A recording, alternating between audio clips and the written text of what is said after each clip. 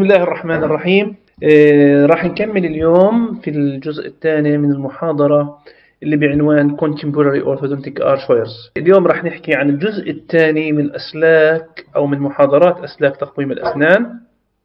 الجزء هذا آه، راح يكون عبارة عن تطبيقات عملية عن آه، أسلاك تقويم الأسنان.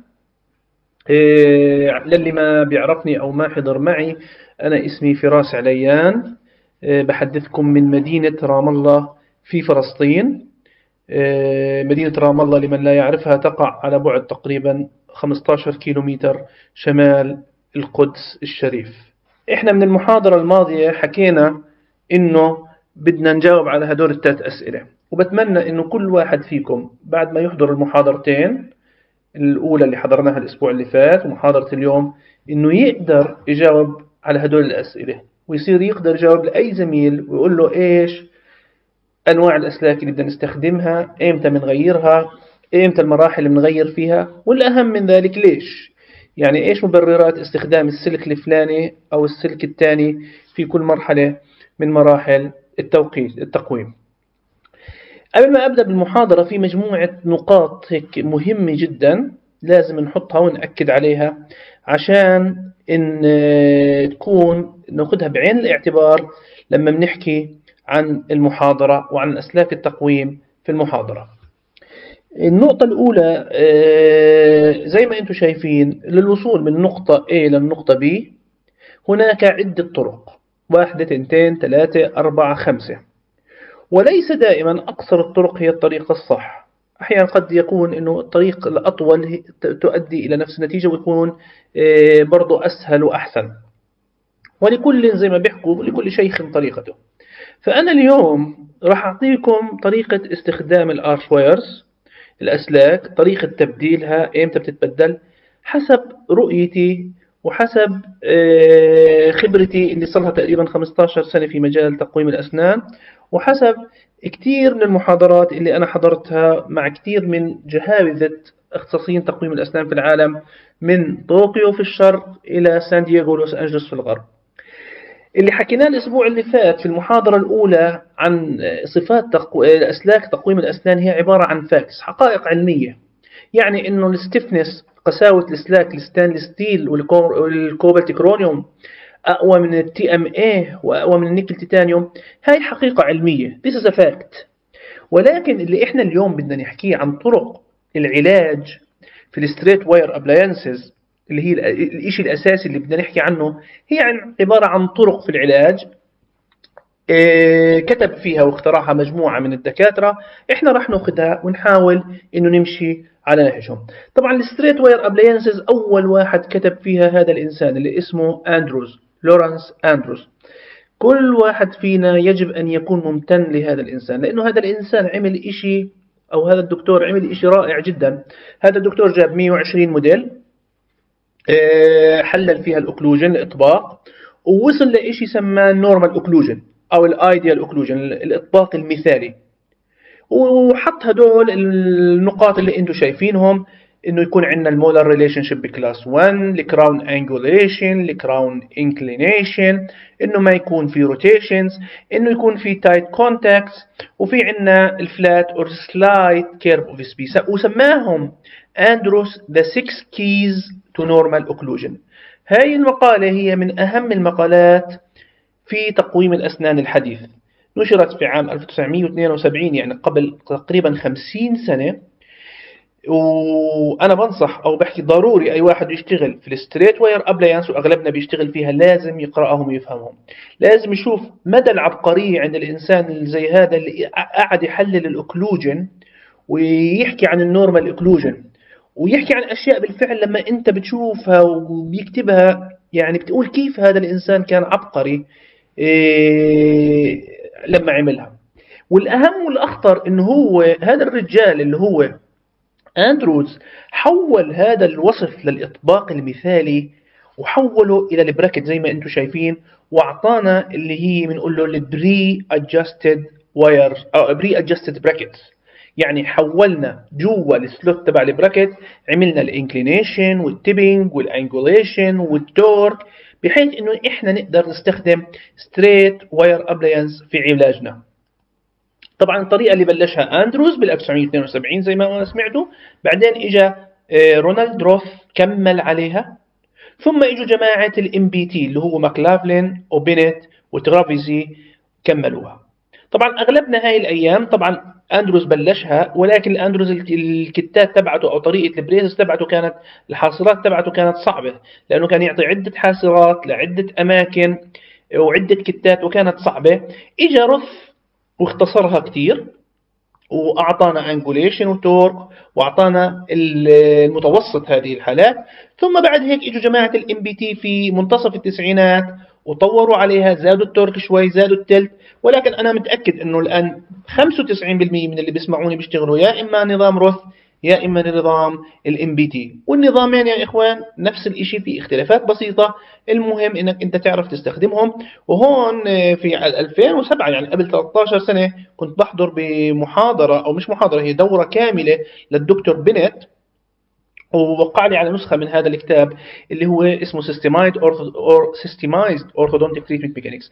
هذا الكتاب يا إخوان بنصح كل واحد فيكم يقرأه. أي واحد بيشتغل Straight Wire Appliance لازم يقرأ هذا الكتاب ويتعرف عليه. كتاب بسيط لطيف ممكن خلال أسبوع تقرأه وتحصل على نتائج رائعة. لما بقى أنا بحكي يا إخوان عن Straight Wire Appliances افهموا وركزوا معي. أنا ما بحكي عن ال Damon system. ال Damon system نظام عظيم أنا بستخدمه كتير ولكنه ال biomechanics وال wires تبعونه مختلفين إلى حد كبير عن ال straight wire appliances وهذا نظام منفصل. أنا بنصحكم أول شيء تتقنوا ال straight wire appliances تاع ال MBT وتاع روث وتماستروا. بعدين إذا حابب تتعلم ال Damon هو نظام مختلف في له mechanics وأسرار وطرق مختلفة في العلاج. كمان أنا ما بحكي عن ال systems اللي فيهم large loops or bends إحنا بنحكي على straight wire appliance يعني بدي wire واحد مستقيم لأنه زي ما قلنا قبل شوي ال torque وال tip وال كل شيء programmed in the slots of the bracket أو بالقاعدة. فأنت بس بدك تستخدم straight wire في أحيان تحتاج إلى شوية loops شوية bends في النهاية عشان تعمل عملية ال finishing فأنا اليوم ما بحكي على ديمون. ما بدي يجي حدا يقول لي أنت يا دكتور بتحط حالة ديمون حطيت فيها early elastics مثلا و open coil spring على wire light هذا موضوع ثاني أنا بحكي اليوم على straight wire appliances بحكي على ال MBT system بشكل عام.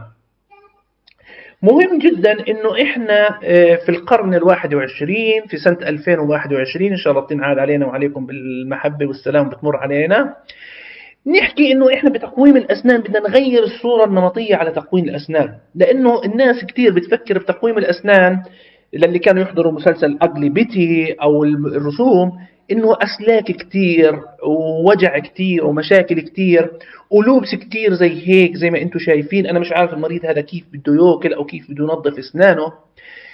80% من الحالات ويمكن أكثر تستخدم ال straight wire appliance يعني wire مستقيم بدون bends ولا loops.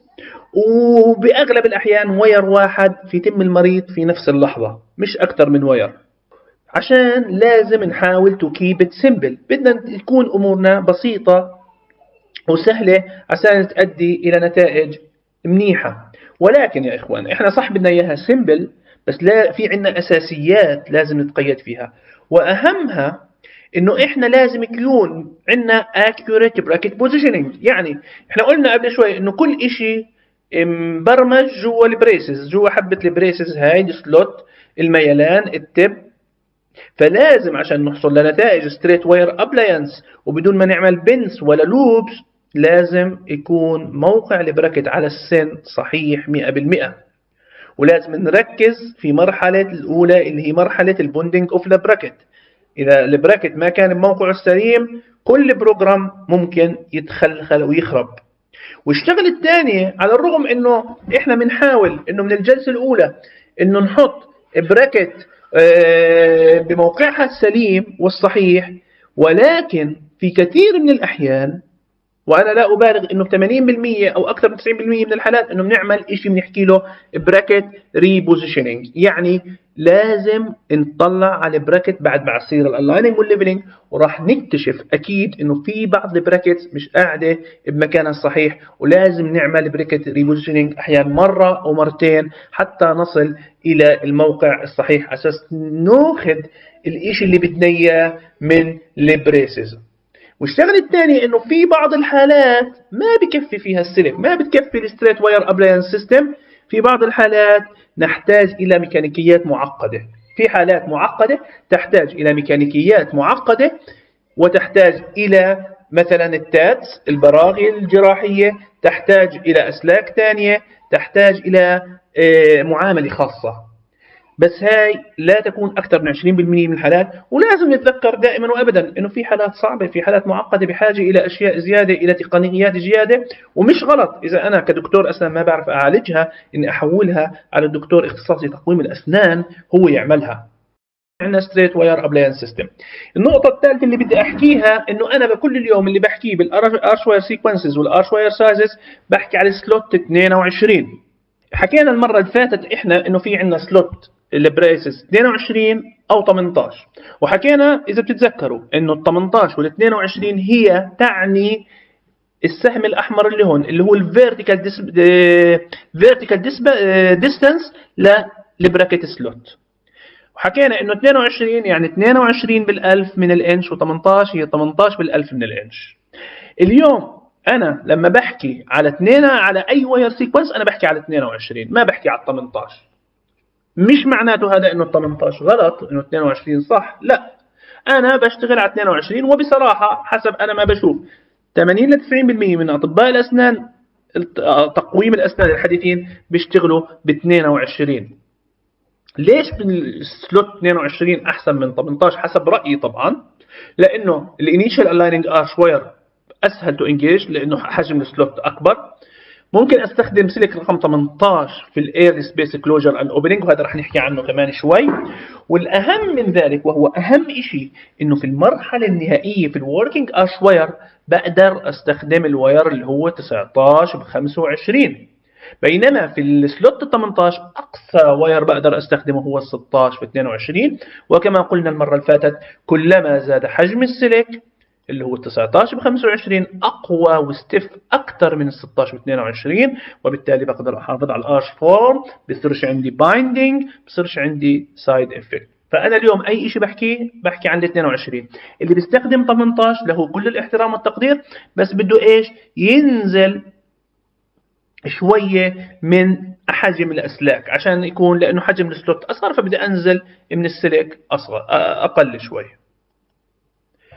النقطة الرابعة اللي بدي أحكيها إنه إحنا وهذا أهم إشي بدي أحكي لكم إياه اليوم إنه أهم إشي إن إحنا لما بنشتغل جهاز التقويم إنه ال end point تبعتنا اللي بدنا نوصل لها آخر إشي في عمل جهاز التقويم هي إنه بدنا يكون عندنا إشي اسمه 3 dimensional control. يعني عندنا بده يكون تحكم ثلاثي الأبعاد على كل سن بسنه. كل سن موجود في ال arch كل طاحونة موجودة في ال arch لازم نكون ماسكينها ومتحكمين بها.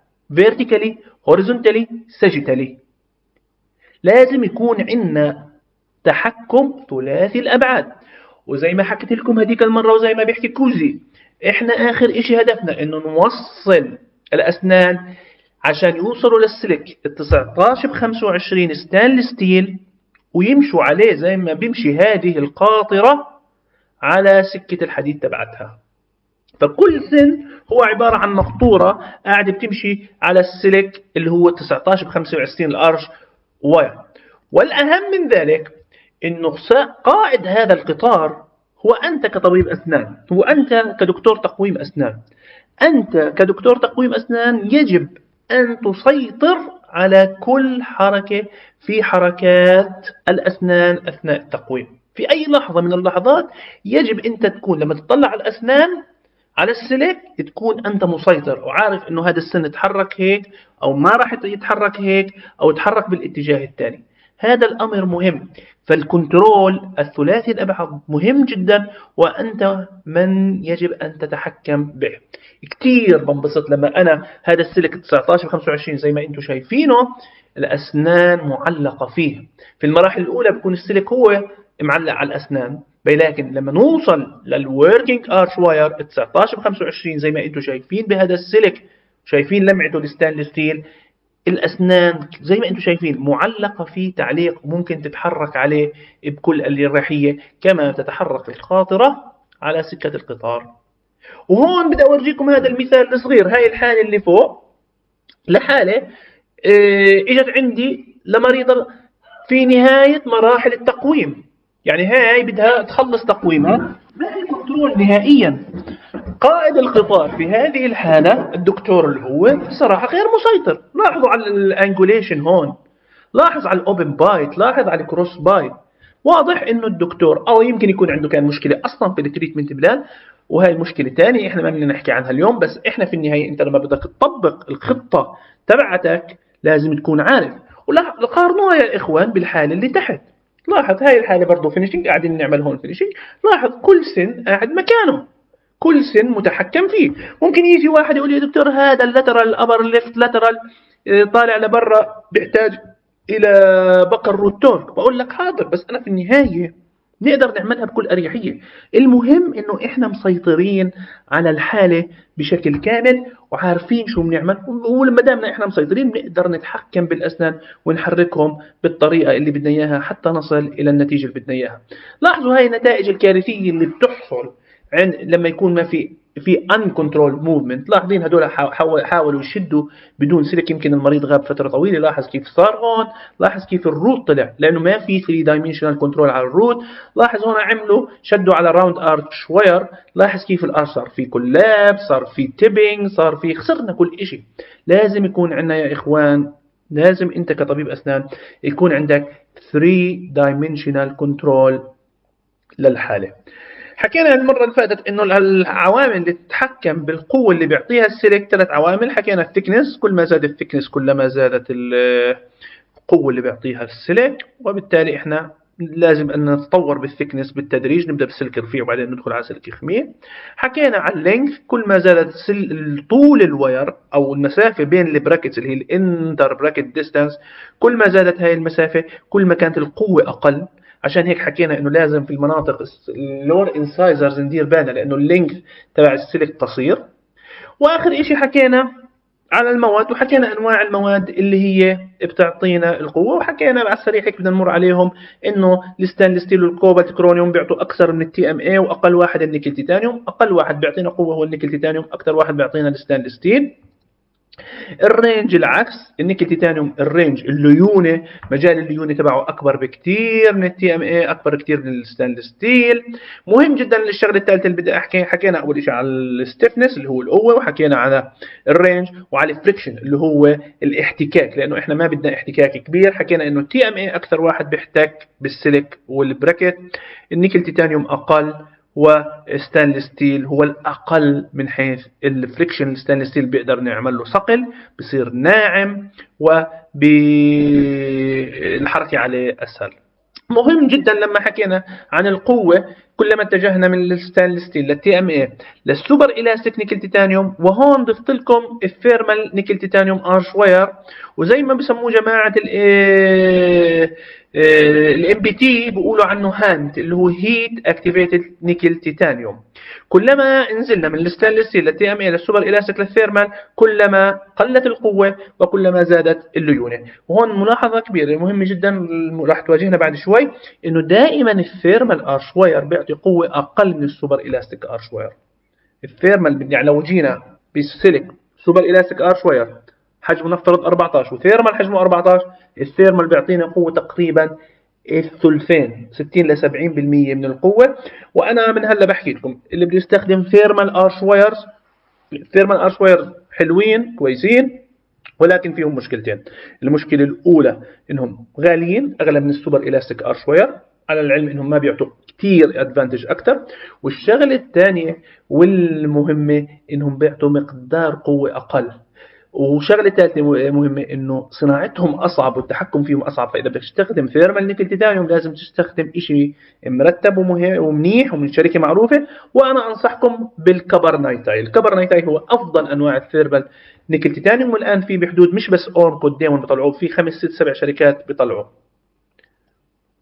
حكينا المرة اللي فاتت إنه كلما تقدمنا في العلاج من المرحلة الأولى. للمي... لل intermediate لل final المرحلة في العلاج راح نحتاج قوة أكبر stiffness أكبر و range ليونة أقل مهمة جدا هاي أول إشي في المراحل الأولى بنحتاج ليونة كبيرة وفي المراحل الأخيرة بنحتاج strength أكبر قوة وأكبر هلا ال archwires عندنا ثلاث أنواع من ال archwires أو ثلاث مراحل في علاج تقويم الأسنان؟ المرحلة الأولى هي ال aligning archwire بعدين بيجي ال working archwires وآخر شيء عندنا ال finishing archwires هلأ راح نبدأ نحكي فيهم آه واحد ورا الثاني ونشوف آه إيش تطبيقاتهم. كلما انتقلنا من ال aligning archwire لل working archwire لل finishing archwire بيكون بدنا قوة أكبر وليونة أقل. زي ما حكينا قبل شوي في مراحل العلاج الأولى بدنا ليونة وقوة أقل في المراحل العلاج الأخيرة بدنا قوة أكثر وليونة أقل. هاي الأشياء الضرورية اللي نعرفها. أول شيء راح نحكي عنه ال aligning archwires اللي هم في بدايات مراحل التقويم. المرحلة الأولى آه، زي ما بتعرفوا كلكم اللي بنقولها leveling and alignment اللي هي المرحلة اللي زي ما إحنا شايفين في أول يوم بنركب فيه ال braces بنركب السلك اللي هو ال aligning archwire وبيكون زي ما إنتم شايفين السلك فيه اعوجاجات حسب هو بيتبع اعوجاجات الأسنان ومع الوقت هذا السلك بده يصير مستقيم أساس يحرك الأسنان. This is the aligning arch wire. اللي هو أول سلك بنحط. وهدفه إنه نعمل aligning وليفنينج إنه يخلي الأسنان على سطر واحد مستقيم. في جميع في في mainly هو في ال aligning وال leveling في بشيل ال rotations بشيل الاختلاف في المستوى العمودي أساس توصل لأسنان leveling وزي ما حكيت لكم قبل شوي إحنا هدفنا في النهاية اني أنا أقدر أركب السلك 19 25 stainless steel على الأسنان. مستحيل أقدر آجي أركب 19 25 stainless steel على أسنان عوجة ومتباعدة وفيها اختلافات بالشكل هذا. فأول شيء نركب ال aligning archwire. ال aligning archwire لما أنا بفكر بال aligning archwire بدي أفكر بالصفات التالية. زي ما حكينا بدنا stiffness قليل عشان ما يعطيني قوة كثير. لأن أنا بدي قوة بالاسنان الأمامية بحدود 50 جرام بالأسنان الخلفية 150 جرام مش أكثر ولا أقل. فبدي سلك يكون مش قاسي. وبدي إياه يكون السلك قوي عشان ما يصيرش في permanent deformation عشان ما يتكسرش. ومهم جدا إنه يكون السلك لين وفي long working range دائما وابدا يا إخوان لما بنستخدم ال aligning archwire رفيع خاصة إذا بنستخدم ال nickel titanium archwires وال super elastic nickel titanium archwire إذا شلناهم من تم المريض وحطيناهم على ال bench ولقيناهم هيك اعرفوا إنه هدول ال wires مش مظبوطين. في مشكلة في الصناعة في مشكلة في التخزين في مشكلة في ال alloy. ال nickel titanium archwires ما بصير في ما بصير يكون في permanent deformation بالطريقة هاي. لازم زي ما حطيته بتم المريض لما تشيله وتحطه على ال bench يرجع مستقيم تام تماما بدون أي permanent deformations وبدون أي مشاكل. مهم جدا. وعشان هيك بنصحكم دائما بال nickel titanium يا إخوان ما تسترخصوا. خذوا إشي منيح خذوا من شركات معروفة آه، عليها control وبتعطيكم نتائج منيحة. لما بدي أحط ال aligning archwires مهم جدا إنه يكون في عندي فراغ جوا ال slot تقريبا 4 mil. يعني إحنا بنستخدم slot 22 زي ما حكينا. أقصى سلك ممكن أستخدمه لل aligning archwire round اللي هو ال 18 إنه أقصى شيء طبعا إحنا ما بنستخدم 18 إحنا راح نبدأ بأقل من 18 بس أقصى شيء لواحد بده يستخدمه بال aligning هو ال 18 لازم يكون عندنا شوية intra bracket distance جوا ال bracket شوية فراغات على أساس يقدروا الأسنان يتحركوا. الشغلة الثانية لما بحط ال aligning archwire في الجلسة الأولى لازم نعمل له well engagement في كل slots distal to the canine يعني من الناب. لا طبعا للسادس أو للسابع لازم يكون ال wire well engaged in the slot. ماسك جوا ال slot عليه ال ligature ماسك منيح. بينما في المنطقة الأمامية ال incisors زي ما أنتم شايفين بهاي الصورة مش ضروري يكون full engage يمكن هون هاد زميلنا أنا أخذت صورة من آه، صفحة لأحد زملائنا. يعني الأسنان مش كتير عوج ممكن كان يعمل هون full engagement ولكن إذا الأسنان فيهم crowding فيهم malalignment ممكن نعمل اللي هو هون بنقول له ال partial ligation ما بنعمل full engagement وهي مهمة أو يعني إنها بتريح المريض ما بتعمل وجع من خاصة في المراحل الأولى من التقويم. لما بيجي الشهر الجاي ممكن أشد له إياه وأعمل full ligation أنا برأيي هاي يعني مسألة تعتمد على المريض على حساسيته على ال pain threshold تبعه على أنت رغبتك كطبيب أسنان إنك تريح مريضك وما تعمل له مشاكل. وهذا طبعا إيش بيكون؟ إنك تمشي ببطء وبهدوء في العلاج. وأنصح يعني إنه ممكن الواحد يفكر فيها منيح. الشغله الاخيره هون إنه أنت إذا عندك سن severely malpositioned أو severely crowding يعني سن بعيد عن ال arch آه، بسبب الازدحام الشديد أو السن blocked في مكان بعيد لازم to bypass اتركه. ما بهاي المرحلة هاي ولا كأنه موجود. بس إذا أنت بتقدر تحط عليه bracket حطها. ما بتقدر تحط عليه bracket انساه بنعمل leveling and alignment بعدين نفتح له وسع. وبعدين بنشبكه هلأ بنحكي عن هذا الموضوع إن شاء الله. إيش الخيارات اللي عندنا عشان نستخدمها؟ لل aligning archwire first aligning archwire عندنا هدول الثلاثة. يا إما multi strand stainless steel وأنا حكيت لكم المرة اللي فاتت عنه إنه هذا السلك سلك آه، رخيص ولكنه فعال في هاي المرحلة خاصة في ال mild وال moderate crowding إذا severe لا severe لازم ننتقل لل nickel titanium. وزي ما حكينا ال nickel titanium في حالة ال 22 لا بنقدر نبدأ في ال 14 super elastic titanium. اللي حابب يكون يعني fancy وبده يستخدم ال thermal arch wires اللي هم ال heat activated arch wire زي ما قلنا لأنه بيعطي قوة أقل بدي أزيد من الحجم عشان أعوض القوة الأقل. إذا بدي وهيك ال MBT ال MBT جماعة ال MBT إذا حدا قرأ هذا الكتاب هم بيبدوا ب 16 thermal arch wire أنا شخصيا يا إخوان as first aligning arch wire ما بستخدم إلا ال 14 super elastic nickel titanium arch wire وأرى أنه سلك فعال ورائع وكافي. 14 nickel titanium arch wire is the first the best initial aligning arch wire إذا بدك تستخدم heat activated بتكبره شوي بتأخذ 16 بس مش أكثر من 16 كبداية يا إخوان.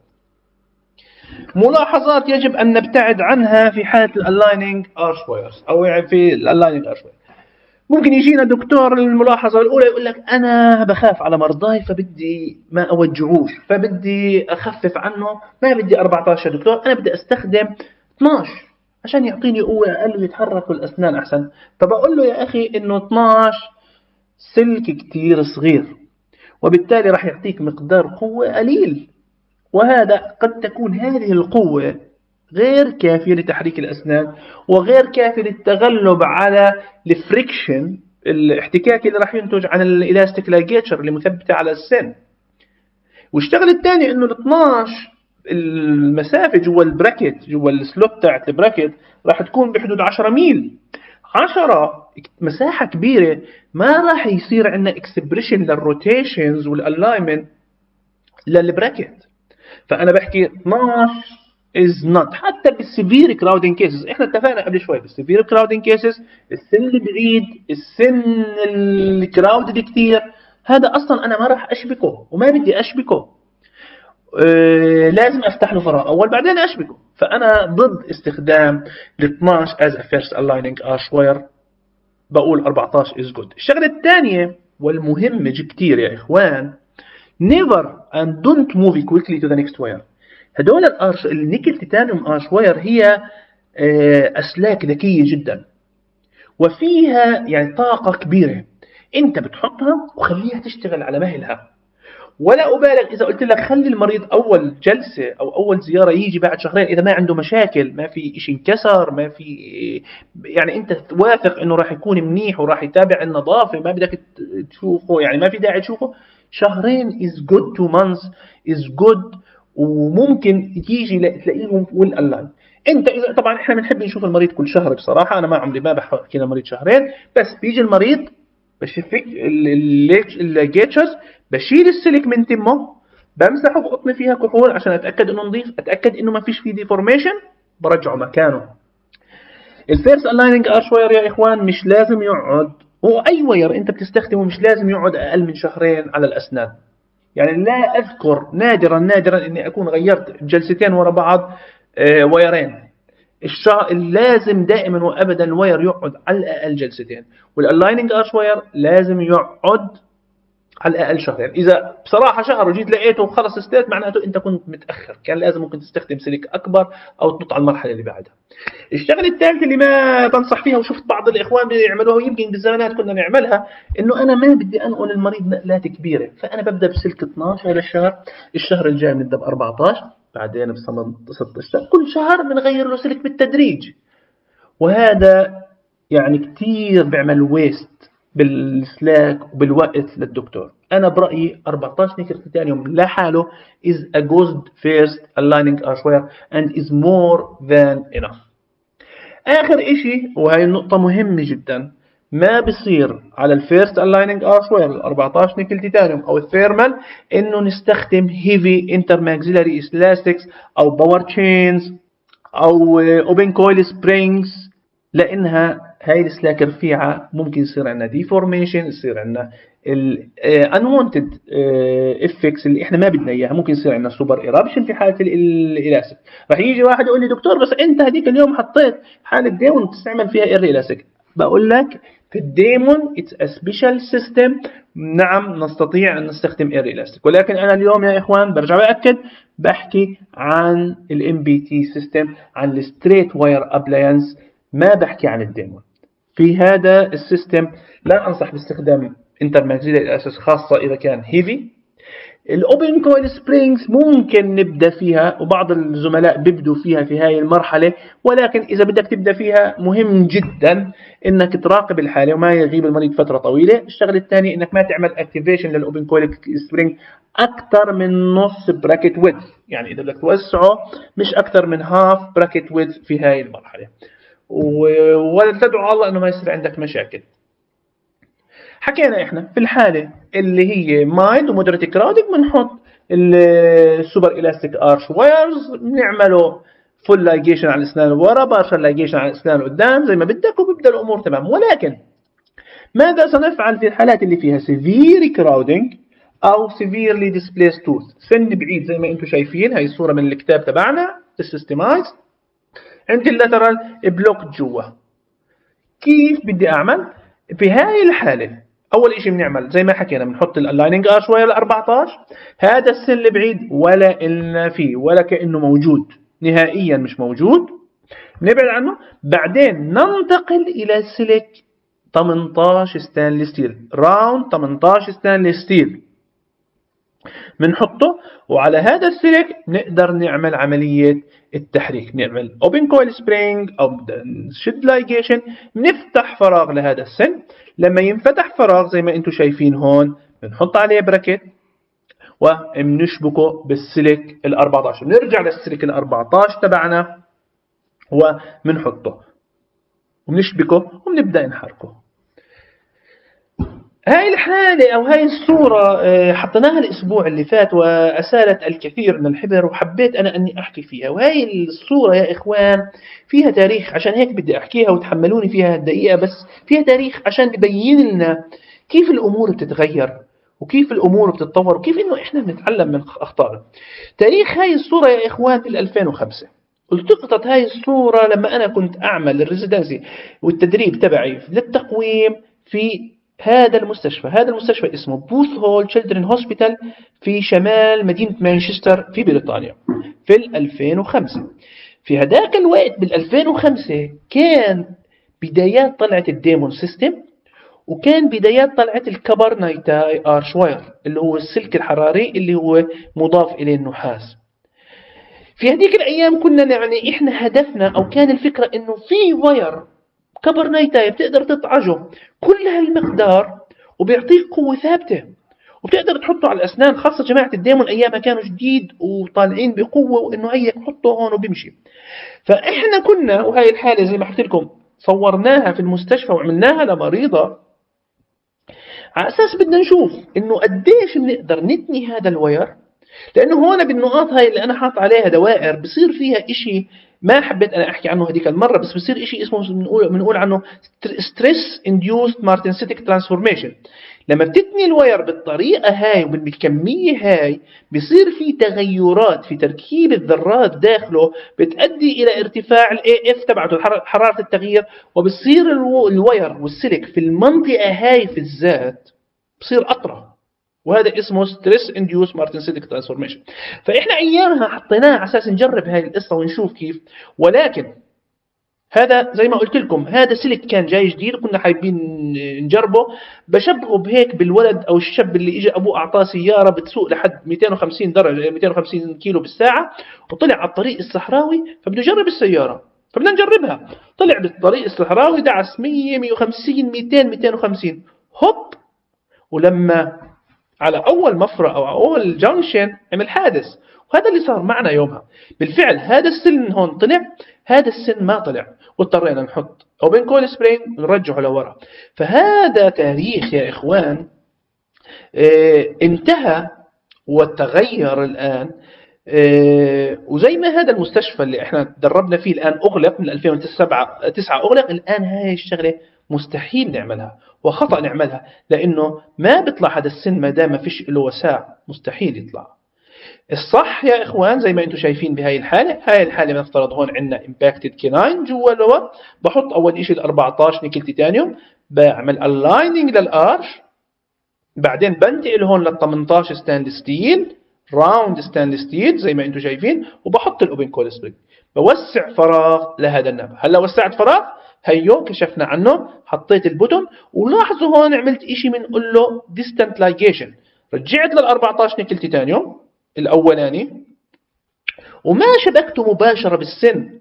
لا بعمله هيو بعمل له شوية bend وأنا لا أنصح أنه يكون أي bend أقل أكثر من 2 ملي في أقصى أحوالها 2 ملي في كل مرة. ولاحظوا هون هيو السلك سحب الناب شوي شوي المرة اللي بعدها بنركب عليه braces وبنرفعه لمكانه إيه وبنت حكوا عن هذا الموضوع إنه أنت ما بتقدر تعمل زي ما أنتم شايفين هون زي ما كنا نعمل بالزمانات لأنه بصير عندنا عملية مش المسألة مسألة wire بنطعج وبيعطيني قوة متساوية. ما اختلفنا ولكن بصير عندنا عملية هون binding يعني ال wire بيحشر مع حفة ال bracket وبالتالي بتصير الحركة مش سموث ومهم جدا نركز على موضوع إنه لما يكون السن بعيد حتى أنا بعد ما أوسع له فراغ يا إما بدي أعمل partial ligation يعني بعمل زي ما أنتم شايفين ما بحط ال wire جوا ال slot لأنه راح يصير ال bend كبير.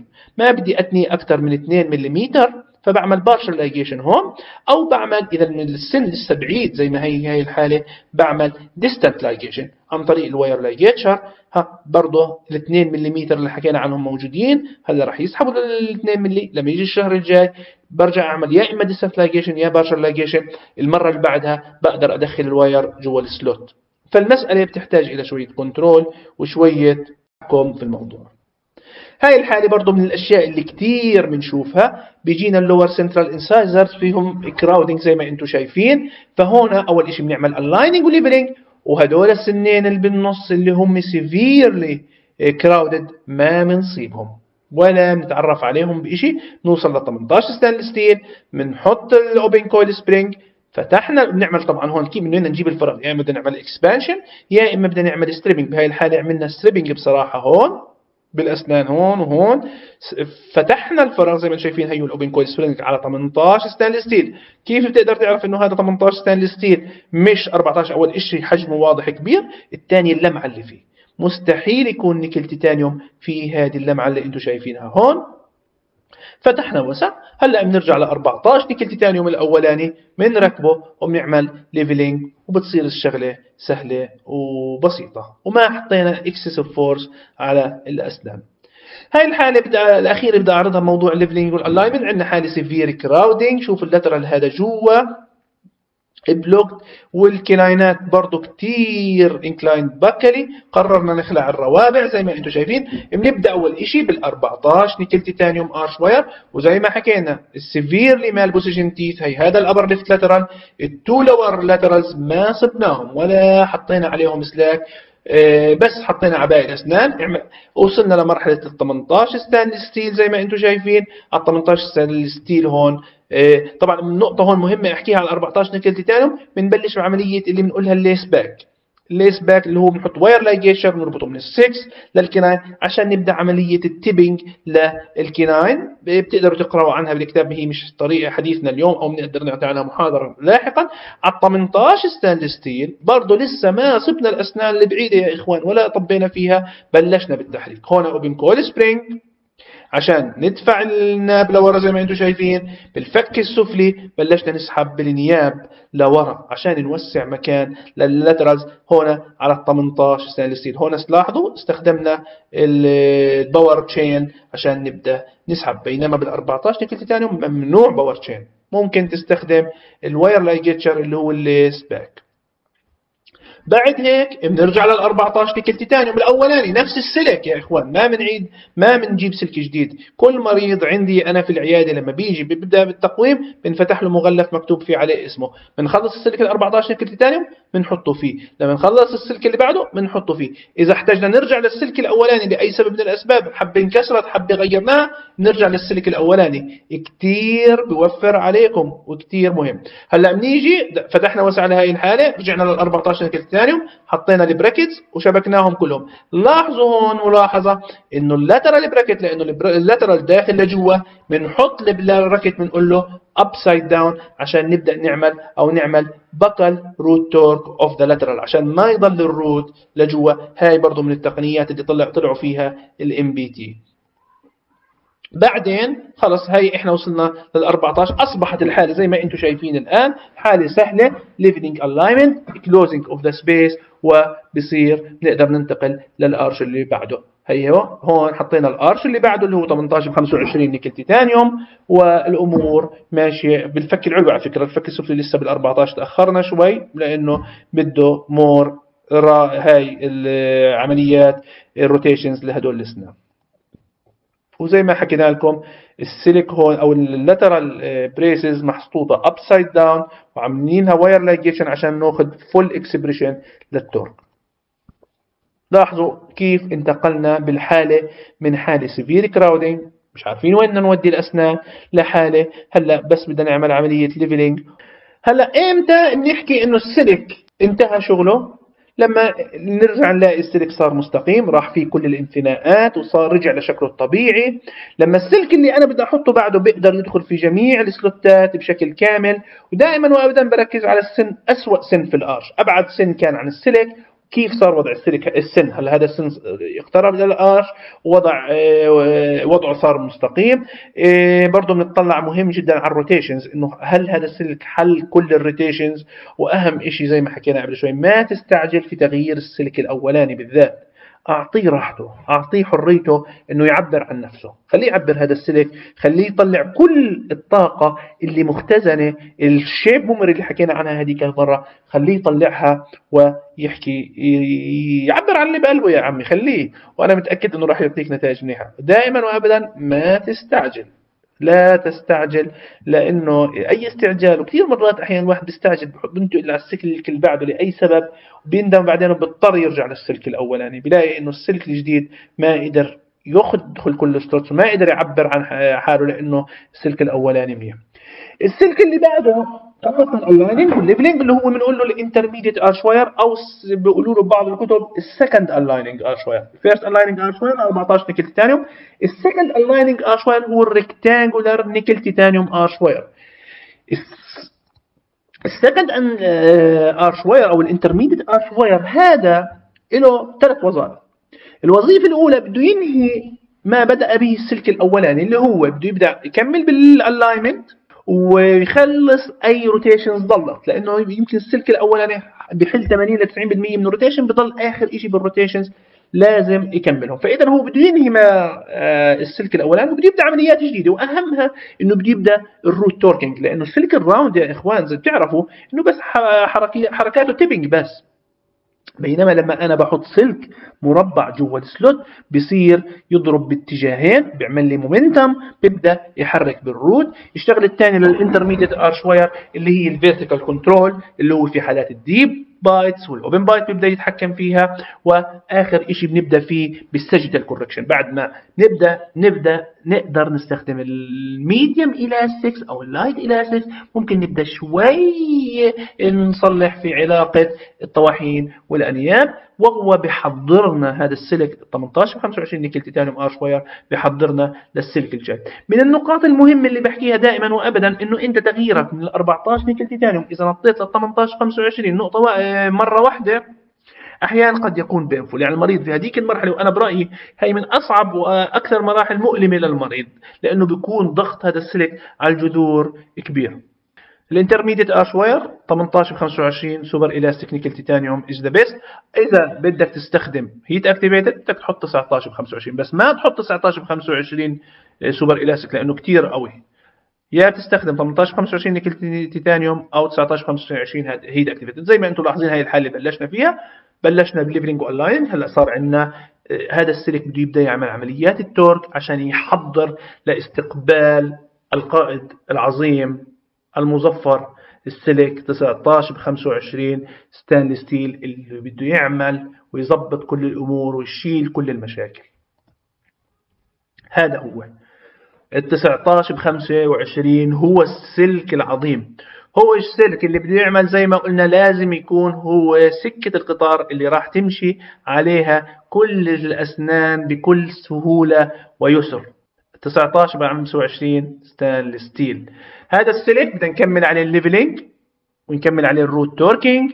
بدنا نصلح عليه ونسكر كل الفراغات نصلح ال molar وال canine relationship بشكل كامل. هذا السلك لأنه stainless steel وقوي وقاسي وصلب بيحافظ لي على ال arch form وبيحافظ لي على شكل ال arch قد ما استخدمت قوة.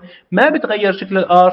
هذا السلك بيساعدني على التحكم في المسافة العمودية في حالة ال deep bite وبيحافظ على آه، توازي الجذور. السلك هو 19 ب 25 stainless steel. هلأ to be honest with you أنا بأغلب الأحيان بستخدم 19 25 stainless steel ولكن أحيانا ألجأ إلى 18 25 stainless steel خاصة في الفك السفلي لأنه بحس 19 25 قوي كثير وقاسي كثير خاصة على الأسنان السفلية.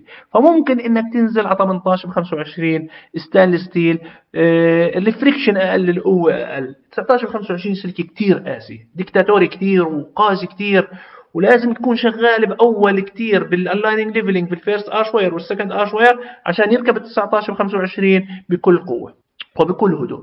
ال 19 ب 25 arch wire يا إخوان زي ما حكينا ستانلس آه، steel هذا السلك في stiffness قوي قوي كثير تقدر تعمل فيه bends ال friction الاحتكاك فيه إلى أقل مستوى. بتقدر تزيد وتلحم عليه أي قطعة. والسلك ال stainless steel بلا شك تعرفوا جميعا إنه أرخص بكثير من أسلاك ال nickel titanium arch wires. أهم شيء قلنا 100 مرة وبنعيدها ل 1000 مرة. لازم يكون عندنا 3 dimensional control لازم الأسنان كلها تطلع عليها تلاقيها معلقة بالسلك وبتمشي عليه. ومهم جدا إنه هذا السلك يكون passive يعني أنت تمسك ال plier تبعك تمشيه من آه، يمين يسار mesial distal بيمشي بهدوء. يمكن أول مرحلة أو أول جلسة ركبه بصراحة يكون في شوية tension لأنه بده يعمل شوية torque ويكون في أشياء لسه بدنا نكملها فأول جلسة يمكن ما تقدر تحرك ال wire بسهولة جوا ال slotات. الجلسة الثانية والثالثة لازم ال wire تمسكه بال plier تحركه يتحرك بكل أريحية. وعلى أساس تتأكد إنه ما في friction زي ما قلت لكم لازم يكونوا الأسنان معلقين عليه تعليق هذا السلك عشان نبدأ بعملية ال space closure وال canine retraction في الخلع. يا إما بنقدر نعمل سن سن مثلا هون نسحب ال... هنا خالعين فوق نخلع ال four نسحب ال four بعدين ال canine. أو إنه نعمل الشيء اللي بنقول له ال en masse retraction اللي هو نسحب ال upper ال anteriors كلهم مع بعض الست الأماميات زي ما إنتم شايفين نسحبهم قطعة واحدة وأنا بحب دائما على ال wire ligature على السلك ال stainless steel دائما أستخدم ال wire ligature خلاص ما بدي أغير elastics wire ligature أول شيء أنظف وأحسن والأهم إنه الاحتكاك أقل. يعني هذا السلك أو ال wire ligature ما بيسمح ما بيكون في احتكاك مع مع السلك الكبير وما وبيمنع بيعمل لك 3 dimensional control بيمنع إنه السن يصير يفتل أو يصير في binding هاي مثال على ال canine retraction لما خلعنا ال four بدنا نخلع نسحب ال canine عن طريق ال retraction لورا. إذا ما كنت معطي سلاك قوية وعامل 3 dimensional control هذا اللي بيصير uncontrolled retraction بصير tipping لل canine ل posteriorly بصير extrusion لل anterior بصير deepening لل bite وهذا الحكي اللي إحنا ما بدنا إياه. إحنا اللي بدنا يصير فيه لما أعمل canine retraction هيك إنه يرجعوا الإسنان هيك زي ما أنتم شايفين. 3 dimensional control. بيرجعوا الأسنان بشكل متوازي ال roots متوازي. ما أنت عامل control على ال horizontal على ال sagittal plane أنت عامل control على ال vertical plane ما بصير deepening لل bite. وهي اللي حكوا عنها جماعة ال MBT وسموها roller coaster effect هذا ال roller coaster اللي هو تبع مدينة الألعاب إنه بصير اعوجاجات. زي ما أنتم شايفين لما بتعمل closure لل space canine retraction على سلك طري مش عامل 3 dimensional control بتصير ال roller coaster effect هيو بصير آه، انحناء فوق بيزيد ال curve of Spee بيصير deepening لل bite هو آه، ما بتسكر الفراغات زي ما أنتم شايفين هاي الحالة يعني بيعمل retraction على سلك آه، رفيع. لاحظ قديش صار deepening لل bite لاحظ قديش صار tipping لل canine distally this is what is called the roller coaster effect. هذا الحكي ما بدنا نشوفه إحنا.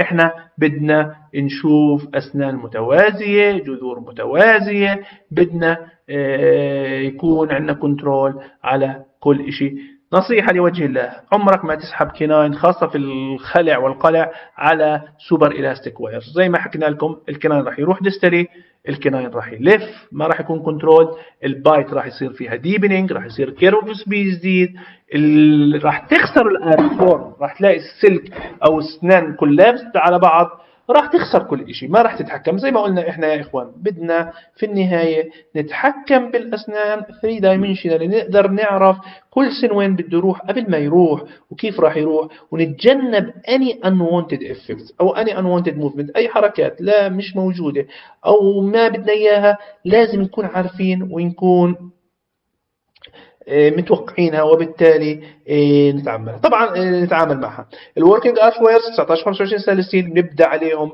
ال intermaxillary elastics ال heavy اللي هم الست oz أو الأربعة oz نقدر نبدأ بكل أريحية سواء class 2 أو class 3 بقدر بنقدر نركب عليهم هون. أنا مثلا مركب ال PowerScope تبع ال American Orthodontics اللي هو مركب عليه ال fixed functional appliance عندك سلك قوي بتقدر ترتكن عليه 19 و25 سلك قوي بيرتكن عليه وبيعطيك كل شيء أنت بدك إياه.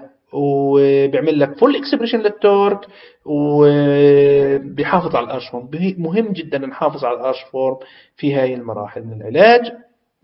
في حالات ال deep bites يا إخوان نفس السلك 19 ب 25 stainless steel بنعمل فيه ال reverse curve of Spee عشان نعالج علاج العضة العميقة. طبعا في موجود اللي هو ال ready made reverse curve of Spee ال nickel titanium تعرفوه بصراحة أنا لا أحب استخدامه. أنا بحب أستخدم 19 25 stainless steel أو إذا بدك ممكن تستخدم 18 stainless steel وتعمل فيه. أما ال ready made آه، nickel titanium مشكلتهم إنه ما بتقدر تتحكم بمقدار ال bend اللي بدك إياه.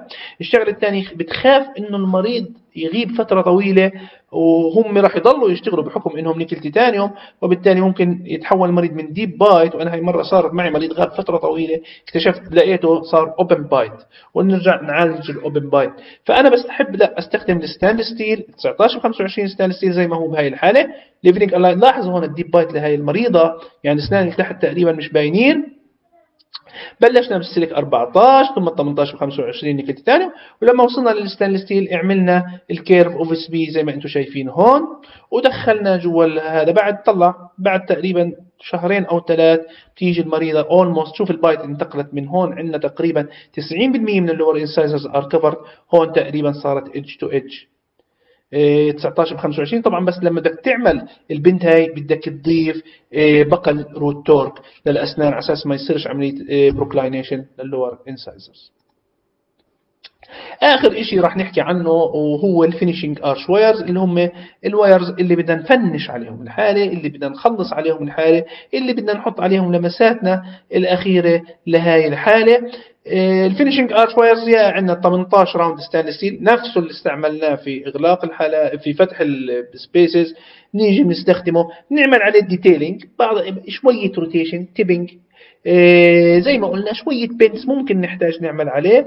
آه، إذا بدنا شوية torque للأسنان خاصة مثلا لما يكون عندنا blocked teeth وخاصة ال laterals فنستخدم عليهم ال TMA 1925 TMA root torquing زي ما حكينا 18 round stainless steel بنعمل عملية ال socking of occlusion هون آه، بنعمل عملية ال vertical elastic أو ال box elastics وممكن في المراحل الأخيرة برضه أشيل السلك في مرحلة ال four وال five زي ما أنتم شايفين أنا قاطع distal the canine وبحط بخلي المريض يلبس ال box elastic عشان أعمل good آه، occlusion بين الأسنان in the buccal segment ال beta titanium ال TMA حكينا عنه هذيك المره ال stiffness تبعه متوسط.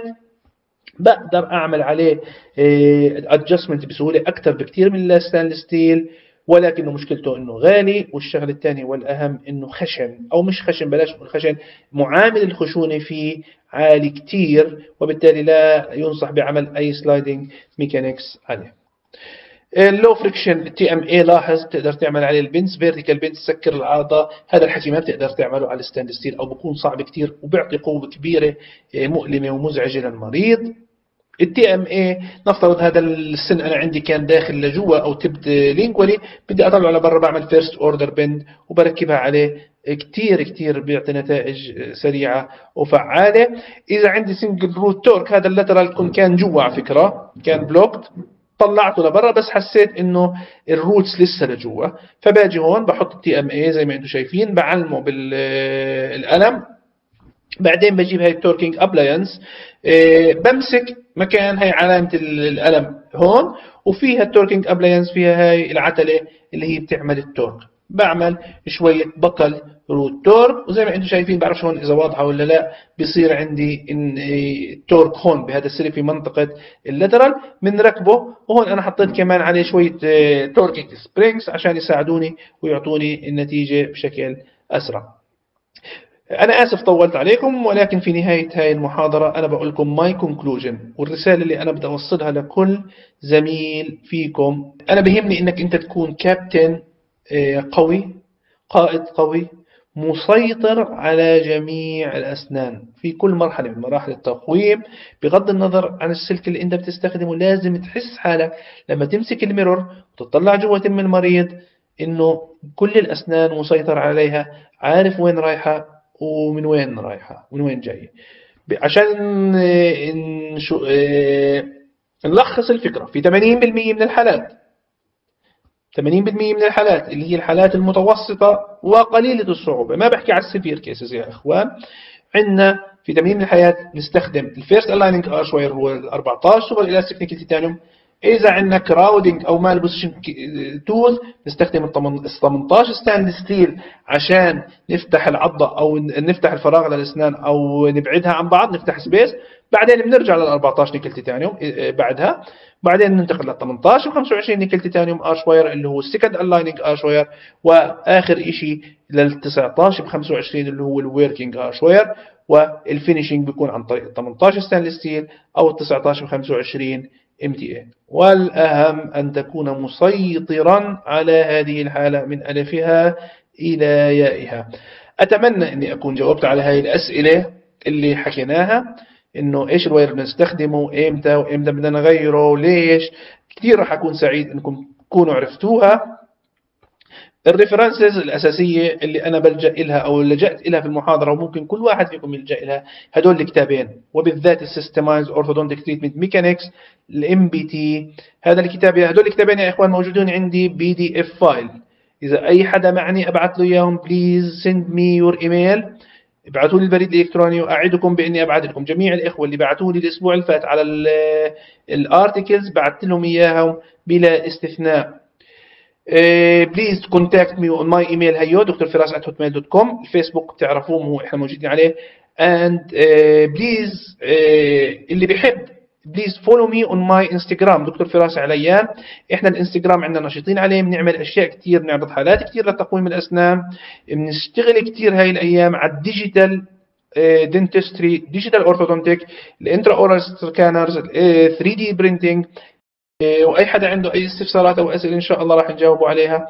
أتمنى الفائدة للجميع وممكن نصير نعمل محاضرات كل فترة وفترة. تصبحون على خير. إن أعجبك الفيديو لا تنسى الإعجاب والاشتراك في القناة وتفعيل جرس الإشعارات كي يصلكم كل ما هو جديد. ومشاركة هذا الفيديو مع أصدقائك. والسلام عليكم ورحمة الله وبركاته. سبسكرايب يا غليم